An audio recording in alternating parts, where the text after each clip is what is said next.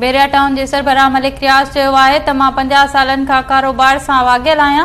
पाकिस्तान में रहंदे केतिरा ई लाहाचाड़ा ॾिठा आहिनि अल्ला ताला जे फज़िल सां हर मुश्किल वक़्त खे कामयाबीअ सां मोह ॾिनो आहे मूं वटि अहिड़ा ख़्याल आहिनि जिन ते अमल कयो वञे त पाकिस्तान जी समूरी आबादीअ खे कारोबार समेत बुनियादी सहूलियतूं रिहाइश तइलीम ऐं सिहत फराहम करे सघजनि थियूं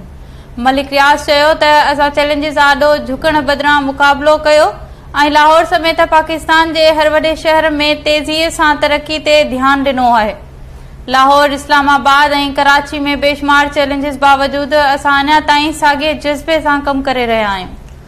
हुन चयो त अॼु पाकिस्तान पंहिंजे बदतरीन मुआशी दौर मां गुज़री रहियो आहे इंता पसंदी ऐं आदम बर्दाश्त आम आहे मुंहिंजो तजुर्बो मुखे उहो चवण ते मजबूर करे थो त जेकड॒हिं पाकिस्तान में कारोबार लाइ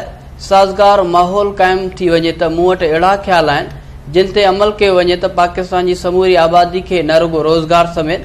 बुनियादी सहूलियतूं रहाइश तालीम, ऐं सिहत फरहम करे सघजनि थियूं पर मुल्क़ जे रियल इस्टेट सेक्टर खे बि ॿीहर तरक़ी जी राह ते कामज़न करे सघजे थो असां खे हिकु मुस्तक़म ऐं परमन माहौल जी ज़रूरत आहे जेका सभिनी अवामी शोभनि ऐं कारोबारी बिरादरी जी तरक़ी लाइ ज़रूरी आहे